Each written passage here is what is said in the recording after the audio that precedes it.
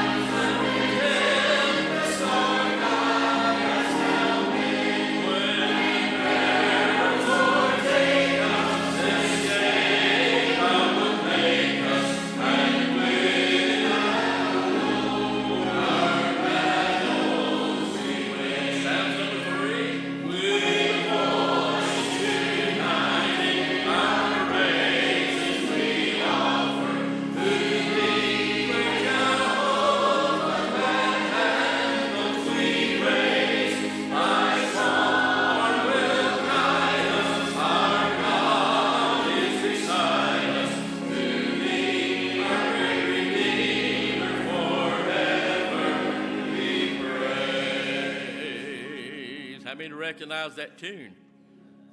Very few. That's what I figured.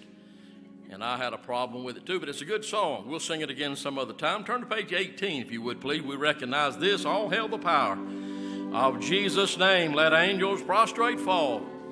Bring forth the royal diadem and crown him, Lord of all. We'll sing several stanzas. Sing it together. All hail the power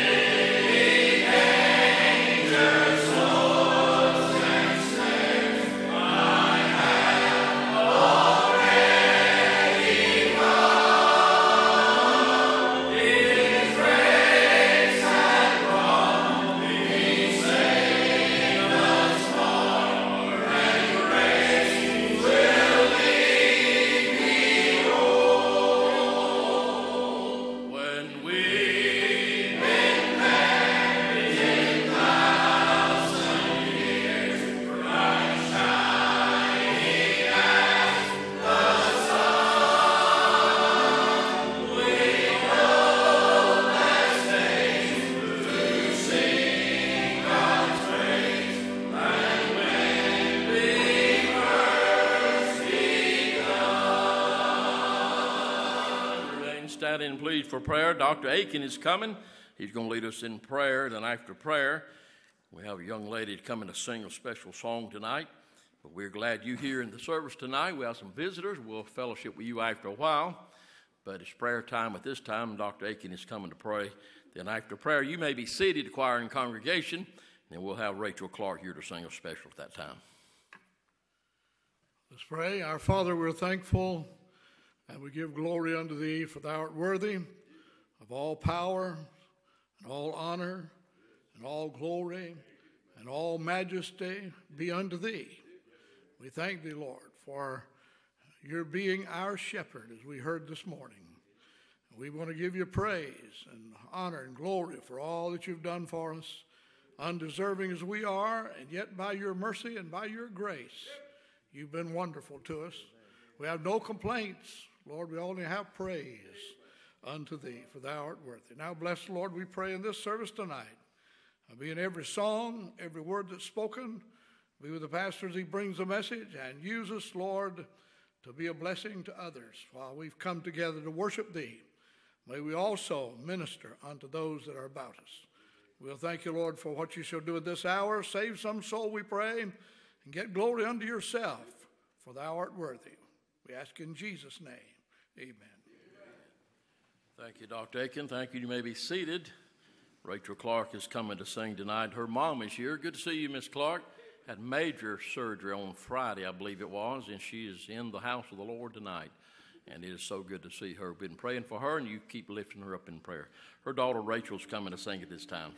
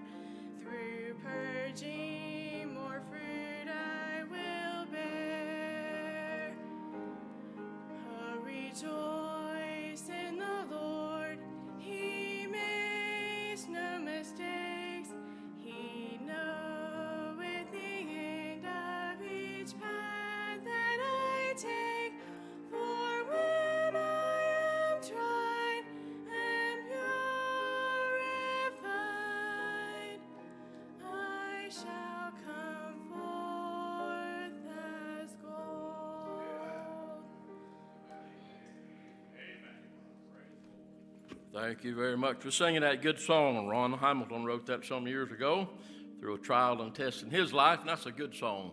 Rejoice in the Lord. Well, choir, let's take that yellow, I'm sorry, that red, I'm sorry, that black book. I'm not colorblind. you ever have that problem? Your mind goes, and before you speak, it's like it's out there. The black notebook, number 10 is the page number.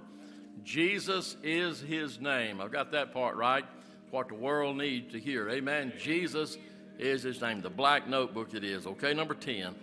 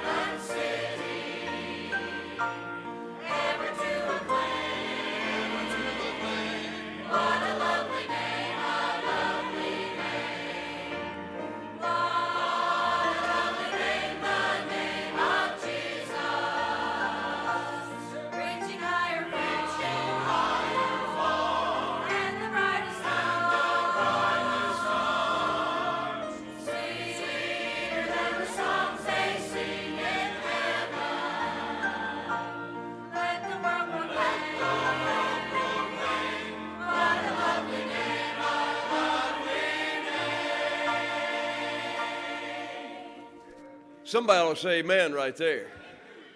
What a lovely name. Two songs in a row about the name of Jesus Christ. No other name under heaven given among men whereby you must be saved. No name like the name Jesus. Well, thank you, choir. Good singing. I could hear another verse of that. I could. I could hear another verse of that. Heard that when I was a little child, Molten Heights Baptist Church, long time ago. And uh, I'm glad that mom and dad took us to a Bible believing church, had good music in it. And uh, I appreciate the good music there tonight. Well, um, boy, it is so good to have Angie Clark here tonight. And I know it's already been said, I didn't expect her here. And uh, there she is. So, Angie, we're so glad you're here and then got to hear your daughter Rachel sing. What a blessing. Maybe we ought to just make it a perfection thing there. Luke, you're Seth, you got a message ready? You got a five minute message ready? Huh? I can't see. Is that a yes or no? You, I mean, all I see is your head in one position. Seth, you got a five minute message ready? All right, I got that one. I got that one. Yes, sir. Not going to put you on the spot. Amen. Um, I want to welcome all our guests tonight. Glad that you're here. We do have guests here this evening. Thank you for coming tonight. And uh, we do want to make you feel welcome. We'll get to you in just a moment, get our hand in your hand. I want to remind you about the uh, Piedmont Baptist Fellowship that'll be here tomorrow, 1.30. And uh, several preachers, many preachers be here preaching and uh, preaching about the Lord Jesus Christ. And uh, I'm looking forward to hearing that. And then 4 o'clock, Christmas Eve, that'll be our service mood, the only move that we'll have that day to 4 o'clock. And uh, you come and we'll try to make that a little special time for you. And then the following Sunday, the 31st, we'll have our service regular time, and then we'll have a watch night service down at First Baptist Church of Conestee. And if you'd like to be part of that, I'm sure they'd be glad to have you. I do have a couple of things as far as prayer. Fellas, if you go ahead and come this direction as far as uh, our giving. Uh, James Logan, I, I, talked to Brother Logan um, uh, earlier today, and Brother James Logan, he had a brain stem stroke, is what they've come to the conclusion of. And um, it's caused some problems with his eyes, and he's not really in a lot of pain, but it's definitely caused some problem with his eye. And uh, he is a uh, he's really the I guess a caretaker between he and his wife, and and he goes different places, and uh, um, his eyes not being strong and able to see to be able to go out is definitely limiting. And um, I, I, know they would appreciate your prayers for them. Ruby Moat's still in the hospital. I know Brother Ladd wants you to pray for his mother.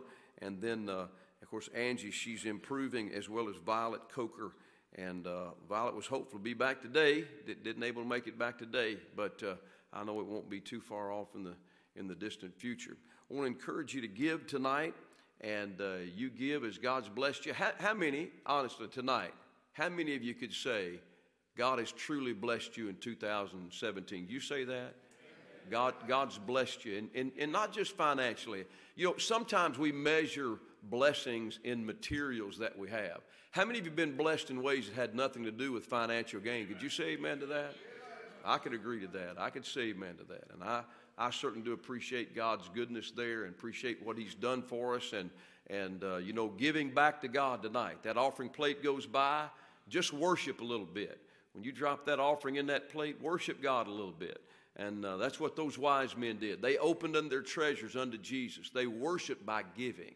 And, uh, you know, I, I, know that that's probably not something you'll find one of these newer churches.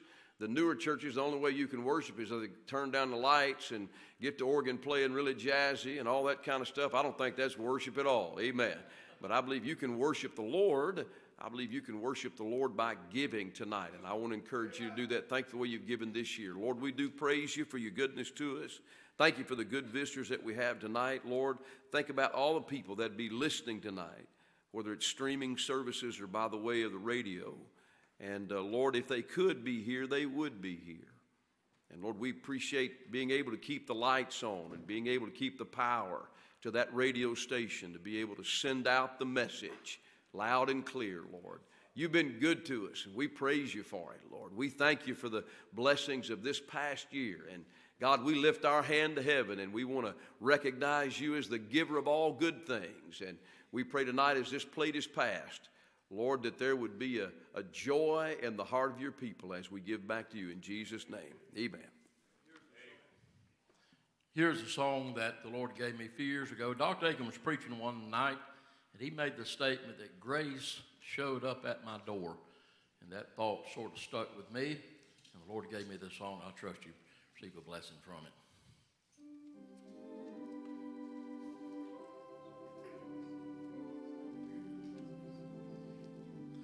I was alone and facing dark despair. I had no hope and no one seemed to care. I heard a knock, I walked across the floor, and there was grace just standing at my door. God's grace showed up in the person of his son. God's grace showed up, my new life has begun. My stripes he wore, my sins he bore. Thank God for grace that showed up at my door.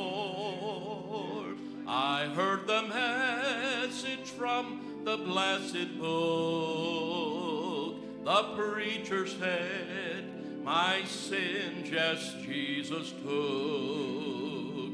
And to the cross I went, he met me there. Amazing grace, his righteousness I wear. God's grace showed up in the person of his son. God's grace showed up, my new life has begun. My stripes he wore, my sins he bore. Thank God for grace that showed up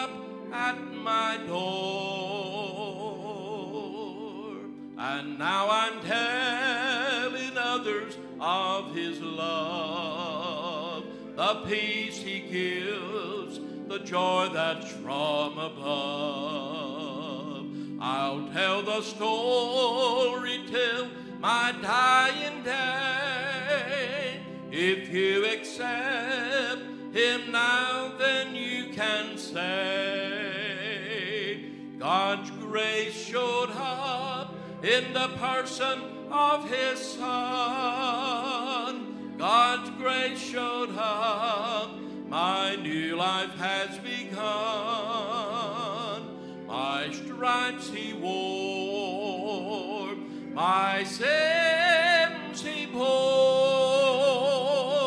Thank God for grace that showed up at my door.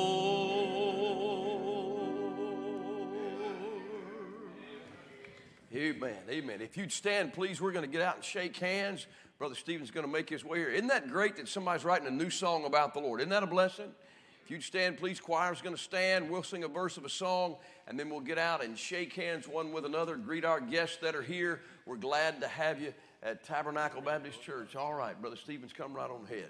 Victory in Jesus. You know the song, and uh, we'll sing a couple stanzas. Choir can go ahead, go down if you want to. 120 if you need the book.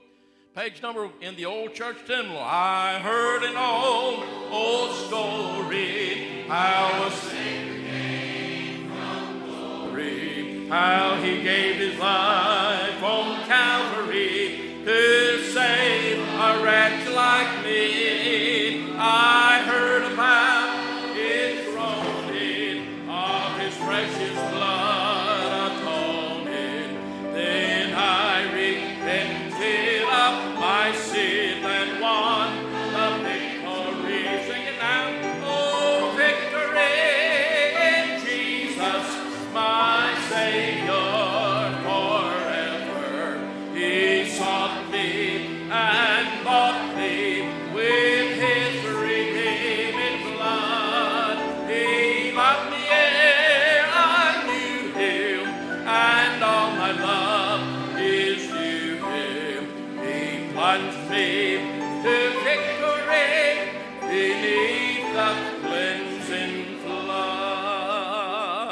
a few moments in fellowship.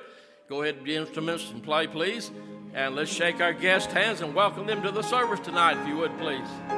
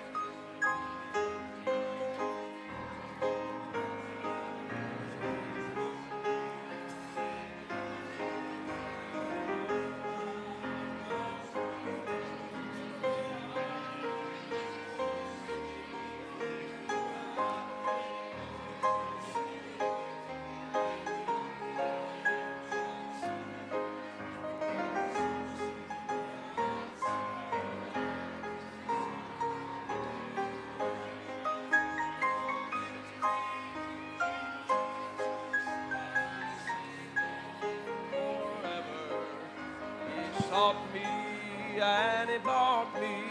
I don't see my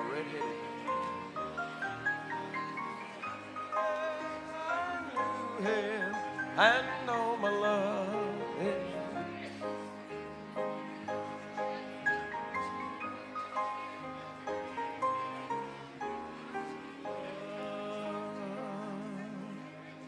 Amen. Amen. Good, good to see good fellowship tonight. That's a blessing. Glad to see that. Glad to see that. I am looking for my red-headed son. Where would he? There he is, right there. All right. um, last year, last year, we just kind of wanted as a Christmas gift. I think we gave this out to is uh, we got. I've got two CDs that our family did, and um, we we tried to give one. I think to every family. I believe that's right. Is that right, son? And um, if you didn't get one, all right, here's four right here. All right, so you can just they can come and, and get these right here. And uh, and if you didn't get one last year, we want you to have one. And uh, they make really good uh, ornaments and scaring all sorts of animals away from your garden during the spring. So you can put those there. And uh, I didn't intend for you to start giving them out now, but that's all right. And, and, and if, you, if you didn't get, all you got to do is let my son know, and he'll take down your name, and he'll get that to you, and uh, we'll make sure you have a little bit of something from the Logan family. Um, all right. Now, tonight, I have a message right here that I want to preach about Jesus Christ. And um, I have tried to focus on Jesus Christ this season. Um, you know, but I got part of me that wants to hear a little more about Psalm 23 this evening. And uh, I hadn't said anything to, to Brother Faleur about that. And um, I've got my message. It's laying right here. I'm ready to go. I'm ready to go to where we want to go tonight. Um, but Brother Faleur, would you want to come back up here and preach some more out of Psalm 23? I've had a lot of people ask me about that. I'm just going to make that, I'm, I'm not going to make that call. I'm just going to trust you. I know you know the Lord. If you want to come up here, you're welcome to do it. I'm going to sit down. It's not going to hurt my feelings at all. And if you don't, I'm going to start right here where I am. I can't. No, sir. I'm going to defer. I could put that on Dr. Aiken. Dr. Aiken, how about you going ahead and making that decision for him? Would you do that? All right. Brother Aiken said that his wife liked to hear Psalm 23.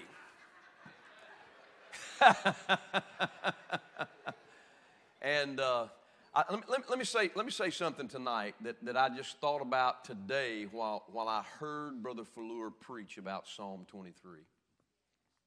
His preaching carried me back, or at least in my mind, carried me back to a different generation of preachers, a different generation of men. And uh, that's not to say that he's an old man at all. I, I think he has years in front of him still to preach.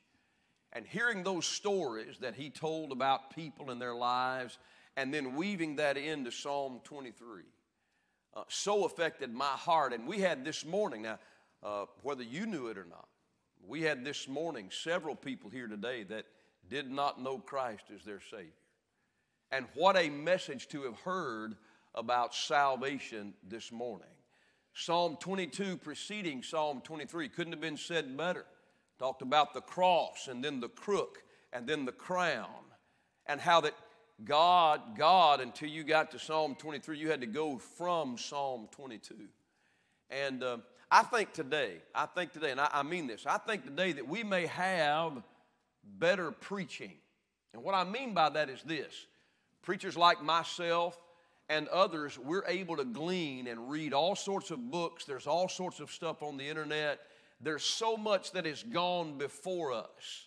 You know, I don't pull out a big Strong's Concordance and search my Bible anymore. I have a program to do that for me. I don't pull out a big 1828 dictionary and define a word. I have a computer program that does that for me. I have something at my hand. There's a thing called SermonAudio, and if you want to listen to preaching starting tonight, you could hear preaching nonstop all day long, every day. And some of those men, excellent preachers. And I think that there's such a there's such an ability to draw from today. But that being said, the preaching may be better in some sense of the word, but I don't think the men are better. I think the men of years ago had something that a lot of the younger preachers do not have. And boy, he was talking about it this morning. I want to be saturated with the grace of God and saturated with the Spirit of God. And those men, those men are very hard to find today. A Bible preacher that's saturated with the Holy Ghost of God. And uh, Brother Fleur, if you want to, you come right on ahead. Now, if you shake your head, no, I'm going, but you come right on ahead.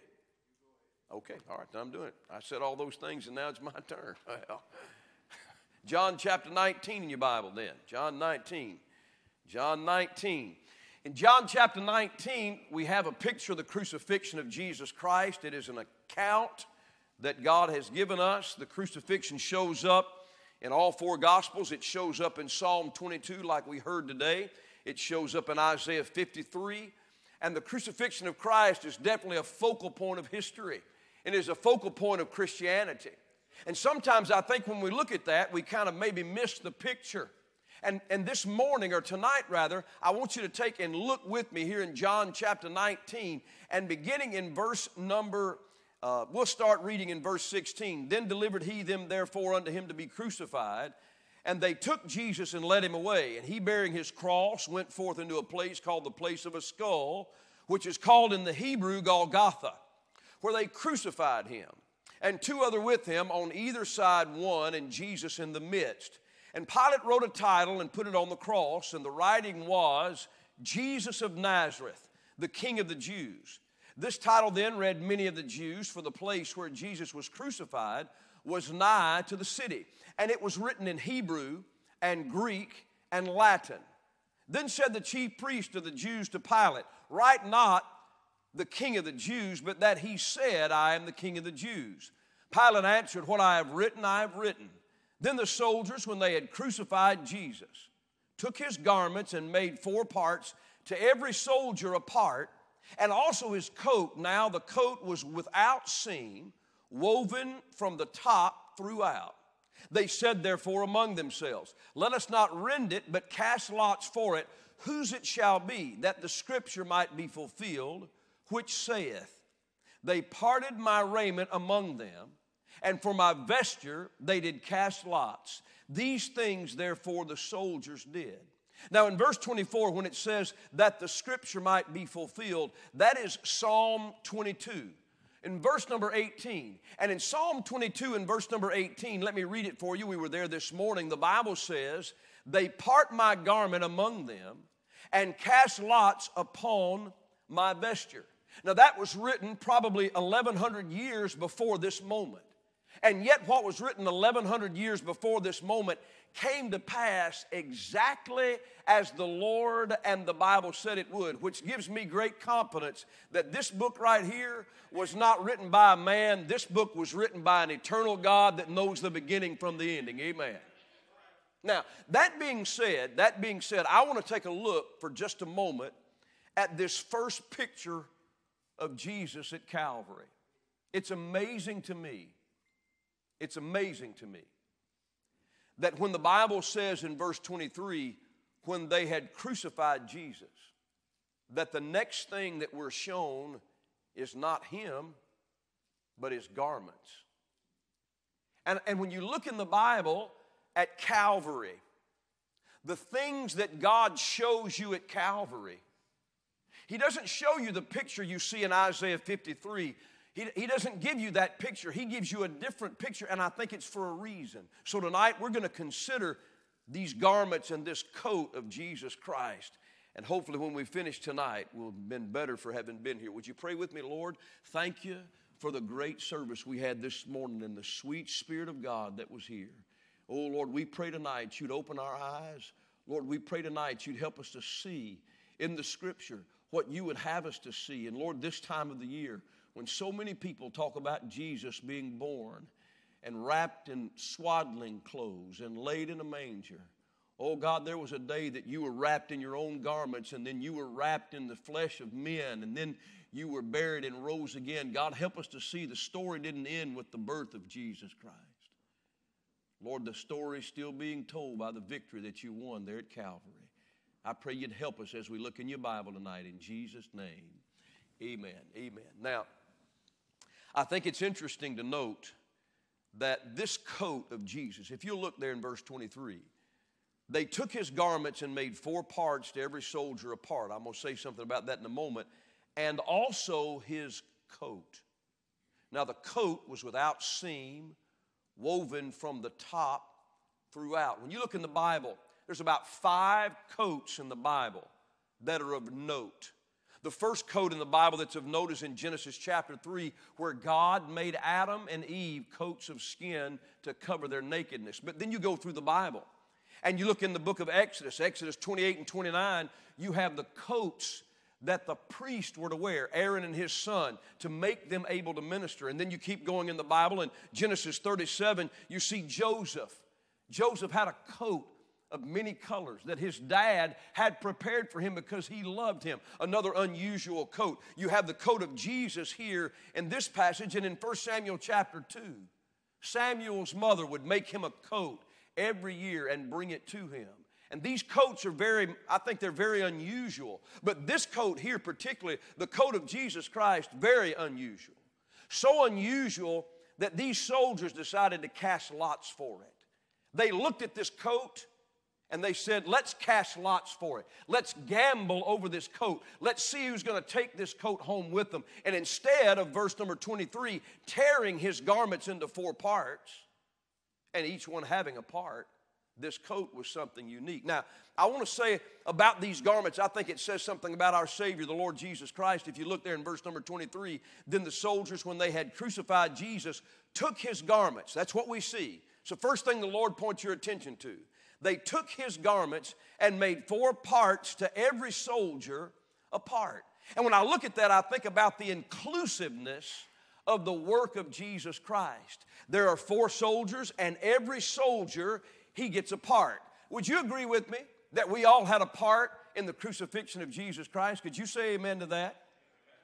My sins hung him there. Could you say amen to that? All right, it wasn't the sins of people that are filthy and vile and the Jeffrey Dahmers of this world and the Hitlers of this world. Yes, their sins were paid for, but hey, beloved, my sin and your sin was put on him just like their sins as well. Amen. We're all guilty in God's eyes. We've all sinned, and our sins were laid upon him. That's inclusive. Every person's sin was laid on the Lord Jesus Christ, and he was able, oh, he was able to bear the weight of all the sin of the world. That's a Savior that man cannot make. Amen. Had to be God to do that. But not only that inclusiveness, look what the Bible says. Each man also got a part of these garments. Every man was given a part of that garment. He was given something that he carried home away from the cross of Calvary. Boy, and I'm glad to say tonight that the work of Jesus Christ is inclusive when it comes to the gift of salvation. We sing songs about red and yellow, black and white, they are precious in His sight. I'm glad to say tonight that whosoever is still just as true today as it was the day that he hung on the cross of Calvary. Amen. I began looking in my Bible in John 3 in verses 15 and 16. The Bible says that whosoever believeth on him shall not perish, but have eternal life. Could you say amen to that? Whosoever, doesn't matter who you are, doesn't matter how old you are, doesn't matter where you're from, doesn't matter how educated you are, doesn't matter how sinful you are. Whosoever believeth on him shall have everlasting life. I begin going through the Bible, John 11, 26. Whosoever believeth on me shall never die. You say, Preacher, we're all going to die. This body, this body may be put in the ground, but once you have eternal life, you and I are never going to die. Amen. He's the resurrection and the life. John chapter 12 and verse 46 says, Whosoever believeth in me should not abide in death. I'm so glad that I don't have to worry about abiding in death. Listen, we heard this morning about the shepherd rubbing that oil onto that sheep and what it meant to him. Listen, I, I have I don't have a religion. I'm going to say that again. I don't have a religion. Now, I'm an independent Baptist, but my life does not come from being a Baptist preacher and pastoring an independent Baptist church. My life comes from the Lord Jesus Christ. That's a whosoever. Romans 10 13 says, And whosoever shall call upon the name of the Lord shall be what? It's whosoever. Anybody wants a part in this salvation, you can have it. Praise the Lord for that. Amen. It's an inclusive work. Men are exclusive, they like to exclude one another. They like to have societies and clubs that are exclusive. Um, they like to look at other people and exclude them from their number because they don't match up and don't line up. I'm glad that Jesus Christ's work was an inclusive work. All four men, all four men at the bottom of that cross carried away a part home. And you know what? Those that were here this morning, if they wanted, they could have carried salvation in their heart when they left here. Amen. Amen. Hallelujah for that. Well, that's the garments. Look at the next thing, verse number 23. And the Bible says, and also his coat. His coat. The Bible says, now the coat was without seam, woven from the top throughout. And that made that, that coat must have made it very valuable in their eyes, unique. It was without seam. You know, I tried to take a look. You know, just about everything that I have in my closet has a seam in it somewhere. My sweaters have a seam, my shirt has a seam. I mean, just about everything I have. I mean, even looking at my socks, my socks have a seam. This was a coat that had no seam. That's what the Bible says. You know, that's the only time that word's used in the Bible. Word seam. It's never used in the Bible apart from right there. This coat had no seam, so it's very unique and it makes it valuable. It's one of a kind. That's why in verse 24 they said, therefore, among themselves, let us not rend it, but cast lots for it. They said, This coat's valuable. We don't need to, we don't need to tear it apart. Somebody needs to go home with this coat today. This is a particularly valuable coat. And I would say the same thing about Jesus Christ. I would think that you would agree with me that there is nobody like the Lord Jesus Christ. Amen. When I look at this, when I look at this coat here, I see a picture of Jesus Christ perfection. I have a perfect Savior tonight. I don't have, listen, I'm not perfect. I don't, I don't have a perfect family. And, and look, I don't pastor a perfect church. But I'm telling you right now tonight, I have a perfect Savior. Amen. Perfection. This coat had no seam in it, there was no place it was joined together. And one of the things that brings to my mind is his perfection. He was the perfect union of God and man. I have a Savior who was God manifest in the flesh. He was all God. I don't have any doubt about that my Savior, the Lord Jesus Christ, was the Word made flesh. I believe He was all God. He had all power. He was all, no, listen, He was all God. He was a holy God, but He was also all man. He took on the form of man. And when He took and put those two together, it was done where you couldn't see the seam anywhere. It was all God and all man put together in one person. It was a perfect union. And I praise the Lord for that because without Him being man, He couldn't pay for my sins. Oh, but because He was a man, not only He paid for my sins, He paid for your sin as well. Amen. A perfect union. You'd sit there and look at Jesus and it was mentioned today that for 30 years, 30 years, nobody ever, ever suspected that Jesus was God. They looked at him. He's a carpenter's son. He's working as a carpenter. Here are his brothers and sisters. And there is no suspect that he's God because he is a man. He has the same form of a man. And yet, on the third day, when he got up out of that tomb, I'm going to tell you, he wasn't a man. He laid his life down and he took it up again. No man took his life from him because he was God in the flesh. Amen. Oh, God. I'm going to tell you right now, when somebody starts walking on water, that's not a man. Amen.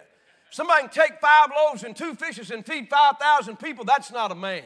Somebody can stand outside of a tomb and say, Lazarus, come forth, and somebody comes floating out. That's not a man, that's God. Amen and the perfection. God, God, God came down to men and took on the likeness of sinful men, and He wove that thing together without seeing where you couldn't see the difference because He's a perfect union of God and man. That makes Christianity different from every other religion. Amen.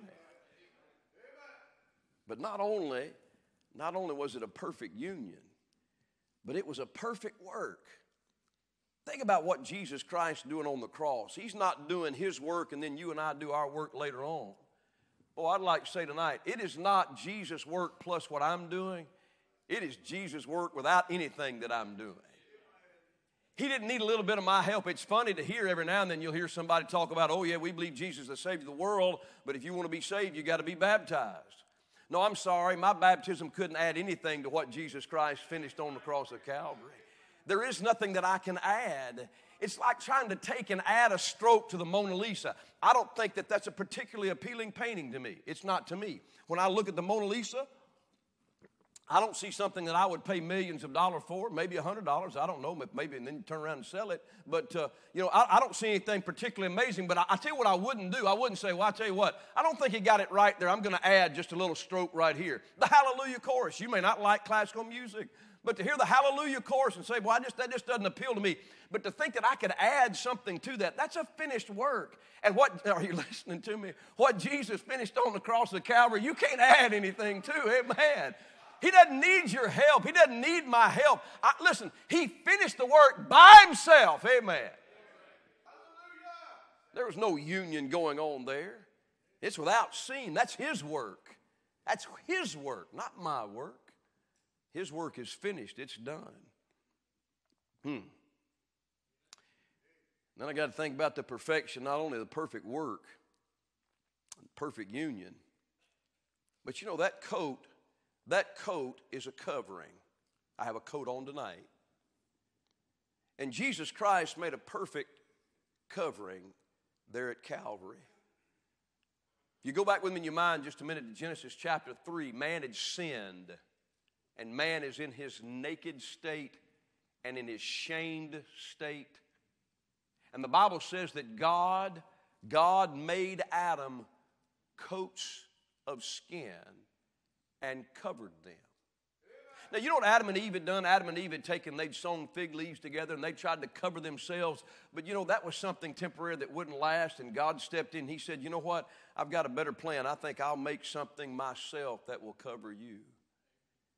Are you listening tonight? Listen, the righteousness that I have was not made by man, it was made by God and his righteousness covers me. It covers you. It covers us. I think about that prodigal son. I, I, I tried to show a little bit the other night in Luke chapter 15. The Bible says, and, and bring a, he brought him a, a, a coat, and he brought him that, that coat, that robe, put on a, a new robe on him. And that robe is something that covered up all the filth that was underneath there, the stench, all, all, the things about that boy that was wrong. That, that robe, that coat covered all of those things up where you couldn't see what the mess that was on the inside.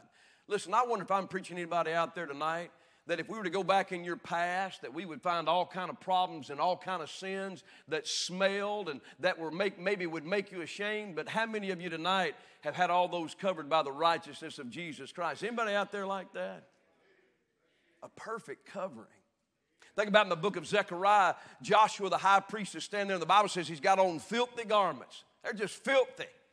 And the Bible says that, that God says, take away those filthy garments and give him a new covering. And they come and they put something new on him. And now he's standing in a right state. And I'm telling you tonight, when I look at this thing right here that's without seam, I look at a perfect covering, and we say it all the time. When God looks at you and I, God doesn't see you and I, He sees Jesus. I, I, I, don't, I don't think that's just a cliche. I'm glad that God sees on me the righteousness of His Son. Amen. And it covers every single sin, every single stain. The worst things in my life that would be at the top of the list that people can't forget God cleansed at one moment at Calvary. Amen. A perfect covering. A perfect covering. You know, every now and then we try to cover some things up. Anybody here ever swept something under the rug? You ever do that? Our children, you know, we want them to keep a clean room, and I, have seen sometimes the closet filled with things, you know. Sometimes things get under the bed. And you know, you think, well, you walk in the room, everything looks good, but boy, there, there may be all kind of things underneath that bed. But if it's underneath a rug, It just kind of sticks out. There's a lot of people walking around, they're trying to cover themselves with their own coat. You need to give that up because there's something bad sticking out. But if you get covered by the coat of Jesus Christ and his righteousness, he'd cover that thing real good for you. Amen. Amen. Amen. And this coat, this coat, this coat was valuable. The perfect union of God and man, the perfect work of Jesus Christ, didn't need any help. There is no seam there. This perfect covering that can cover everything that's wrong. And in my thinking, when I think about this, and, and, and, and this is from a strictly from a physical perspective, an earthly perspective, one of those soldiers won that coat. They cast lots for that thing, and somebody won that coat. And that coat of Jesus Christ, they took that coat home with them. The others, there were garments that were rent and torn. Maybe they would sell them, give them away. But that coat, that coat was something that one of those soldiers took home with him. I remember as a five year old boy coming to my dad and saying, Dad, I'm going to hell. I'm scared to death. And I was, I was scared to death, tears coming down my face. And he asked me, he said, So you're going to hell? And I said, Yes, sir. What do I do? And he took his Bible and he opened his Bible and he started showing me about Jesus Christ paying for my sins. And as a five year old boy, I climbed up on daddy's shoulder on that sofa. And I asked Jesus to save me and to wash away my sins. You know what he gave me that day? He gave me a coat that day. He gave me a coat that day, and He's never taken that coat away from me. And I've done so many things that don't deserve to have something like that. You know that soldier that took that coat home? He didn't deserve that. He carried home the coat of the Lord Jesus Christ that was unique and valuable, and it was in His home, and He had it there. And I'm telling you tonight, listen, if you and I, if we've been born again, we may get used to it. We don't deserve a coat of righteousness like our Lord Jesus Christ has given to us, but I'll say this thank you, Lord, for letting me wear something of such fine article and clothing.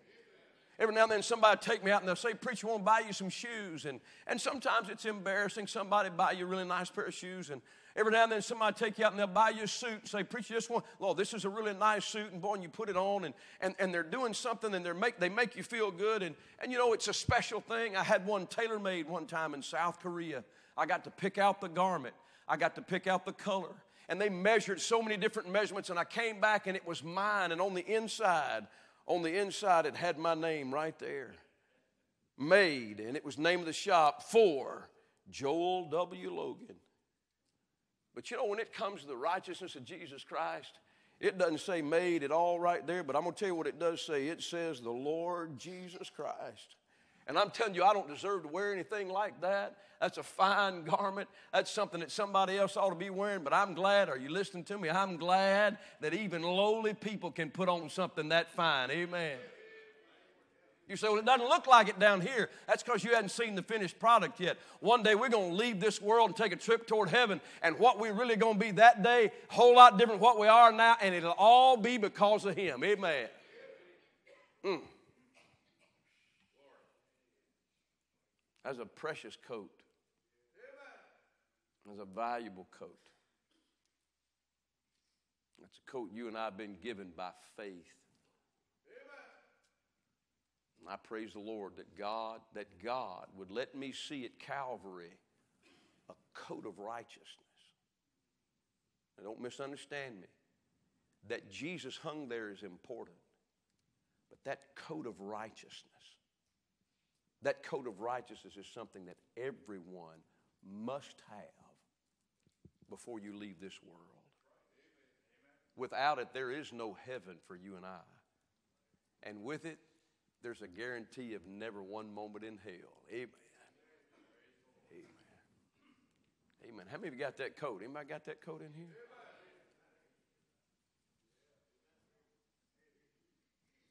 Makes me feel like my wardrobe just kind of took a step up after preaching that. Amen. I got, I got an unusual garment hanging in there. All because of Jesus Christ. Well, Let's stand to our feet, would you?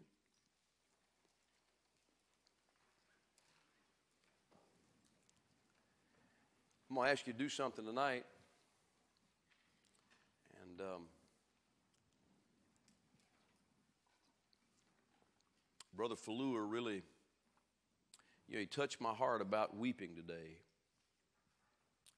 And um, I'm not just trying to get you to an altar. I'm not, that's not my purpose. But um, how many of you know somebody that is living life without that coat of righteousness? Could you raise your hand just a minute? You got somebody like that?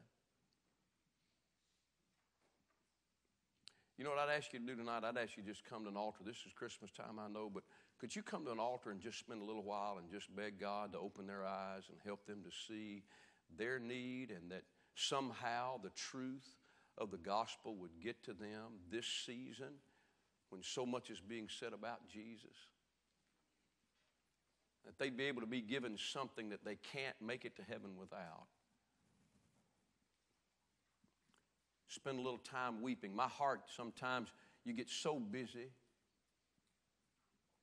But hell is a reality just like heaven, and Jesus is the answer. And that answer is something that men need. They need that. And our people, I know we have people here, I've heard them talk about their sons and about their daughters and about their mothers.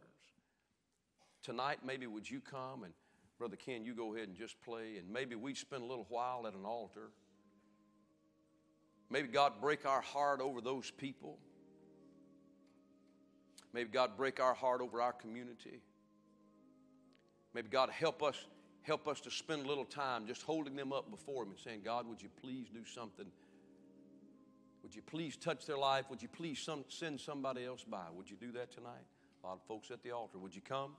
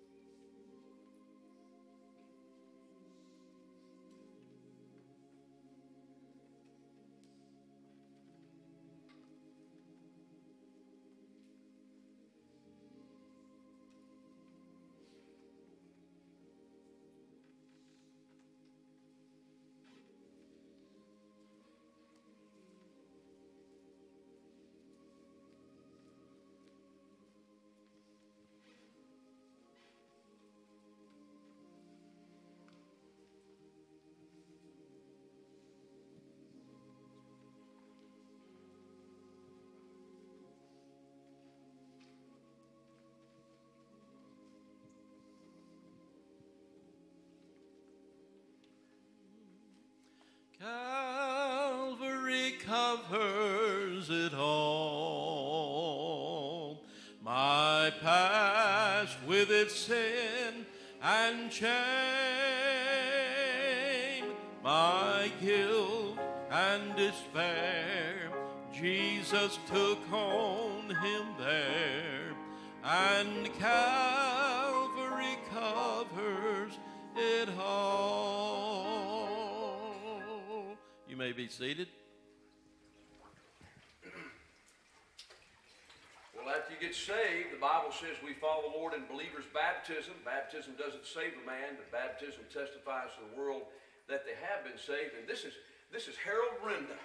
And uh, Harold told me he is from, you said Miami, is that right? Yes, sir. From Miami, and he had a terrible accident and uh, had all kind of stitches, all kind of things. And uh, God, through that accident, showed him his need for Jesus Christ, and he got saved. All right, now what year was that, Harold? 2013. 2013. So he got born again. And who saved you? Jesus Christ did. Jesus did. Anybody got a Savior out there by the name of Jesus Christ? He came to the other day and he said, Preacher, I need to be baptized. So we talked about his salvation. And uh, so then tonight he wanted to follow Lord in believer's baptism. So Harold, we're going to do that right now. Here you go. If you just hold right, right there. All right. My dear brother, upon your profession of faith, I baptize you in the name of the Father and the Son and the Holy Ghost. Buried in his likeness.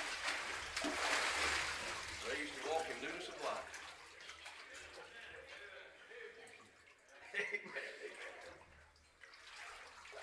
Brother Harold had a lot of friends here this morning, and uh, you know I appreciate them coming, and I appreciate you know we've we've got to trouble the baptistry waters uh, often in the last couple of months. I think we need to trouble them more. What say you? See some people won to Christ. So if you'd stand to your feet, please, and. Uh, can we be dismissed with there's something mighty sweet about the Lord? Can we do that? All right, go ahead, Brother Holbert. All right. There's something mighty sweet about the Lord. There's something mighty sweet about the Lord. It really doesn't matter what the world may say. There's something mighty sweet. There's something mighty sweet about the Lord. There's something mighty sweet